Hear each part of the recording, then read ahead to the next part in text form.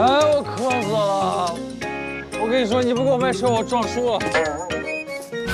你多吃点，一会儿去水休克就完了。